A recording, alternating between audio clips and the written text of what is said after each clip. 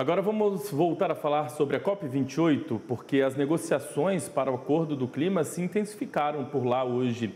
O presidente da conferência faz inclusive uma coletiva de imprensa para falar das discussões junto com ministros do Sul e do Norte globais.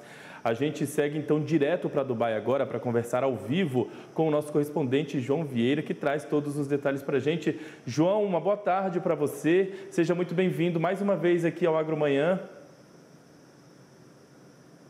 Muito bom dia por aí, boa tarde por aqui, Felipe. prazer falar novamente com você, com a audiência do AgroMais. Exatamente, agora acontece uma coletiva bem importante e até considerada incomum por esse estágio que estamos vivendo agora na COP28. Mas parece ser, por um lado, um bom sinal, por outro, um sinal ruim. O presidente da COP28, e aí eu explico, o Sultan Al-Jaber, é, está reunido agora nessa coletiva de imprensa com oito ministros do meio ambiente de diferentes países, quatro do hemisfério sul, quatro do hemisfério norte. Temos aí vários países: Noruega, Chile, Singapura, Dinamarca, Austrália, Egito, África do Sul e Canadá. Todos eles ali reunidos para dar início a uma nova fase nessa COP28. O que acontece? Quando esses ministros são reunidos, é de fato eles já vinham ajudando, mas esse esforço deve se fortalecer agora.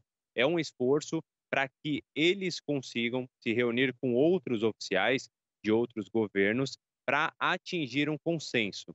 Aparentemente, chegamos em um estágio em que os oficiais de governos, de maneira é, geral no mundo, né, de todas as partes do mundo, chegaram a um limite nas negociações. É assim que está sendo interpretado. E aí, esses ministros atuais entram em jogo justamente para tentar quebrar, tirar isso, essas, esses obstáculos que estão empurrando né, as negociações para um abismo para alguns, ou pelo menos emperrando o avanço das negociações. A ideia atual é de que esses ministros foquem principalmente nos objetivos principais dessa COP. E aí, claro, a gente fala da revisão, né, do balanço das metas, como foram atingidas ou não foram atingidas, ao que parece é mais isso, pelos países ao redor do mundo. Lembrando que cada país estabelece as próprias metas, mas tem que prestar contas agora, como isso tem acontecido ou não tem acontecido. Portanto, esse é o principal tema dessa COP. Só que também um outro tema, que é inclusive mais polêmico, é a questão da linguagem a ser usada sobre os combustíveis fósseis.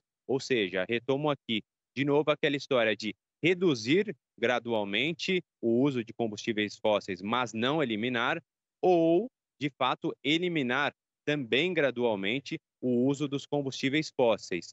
Aparentemente, na verdade, publicamente, há muita constância negativa para levar à eliminação do uso de combustíveis fósseis. Muitos países ainda reticentes sobre essa disposição, né, essa opção de eliminar totalmente. Então, estamos caminhando para uma redução. Só que o presidente da COP, nessa coletiva de imprensa, diz que está sentindo que essa COP está sim chegando a um nível que pode trazer algo sem precedentes aqui em Dubai, como já fez, na visão dele, na semana passada, quando estabeleceu o fundo de perdas e danos para enviar dinheiro a países mais sujeitos às catástrofes climáticas. Até agora, 700 milhões de dólares foram arrecadados. Ainda é preciso muito mais, mas claro, já foi um início bastante positivo. Agora a gente segue na expectativa para ver o que vai sair dessa coletiva, que novamente ainda está acontecendo, e depois os dias. Dia 9 da COP28, faltam apenas cinco para chegarmos a um acordo final. Felipe. João, queria agradecer a sua participação com a gente hoje. Com certeza, dessa coletiva, a gente vai extrair é, algumas informações muito importantes para a gente repercutir aqui ao longo da programação. Um ótimo dia de trabalho por aí, a gente volta a conversar, com certeza. É isso, até mais tarde. Jornal.